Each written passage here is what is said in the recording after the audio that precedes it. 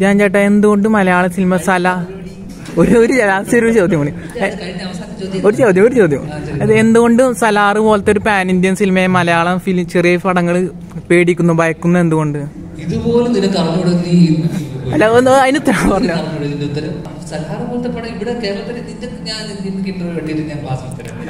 അല്ല കണ്ടന്റ് ആണല്ലോ basic content ആണല്ലോ ബേസിക് ആയിട്ട് ഇവിടുത്തെ കഴിഞ്ഞ രണ്ടു വർഷത്തിനിടയിൽ ഇറങ്ങിയ ഏറ്റവും വലിയ ഇവിടുത്തെ Prashanth Neel K G F ഇന്ത്യയിൽ ഒട്ടുടക്കം ഒട്ട് ഒട്ട് സ്ഥലത്ത് കോളുകളൊക്കെ ഉണ്ടാക്കിയ സിനിമയാണ് കെ ജി എഫ്. അയാളുടെ നെക്സ്റ്റ് ഡയറക്ടോറിയൽ അല്ലെങ്കിൽ കെ ജി എഫിന് ശേഷം വരുന്ന ഇതൊക്കെ ഇവർ പറഞ്ഞു ആരുമില്ല.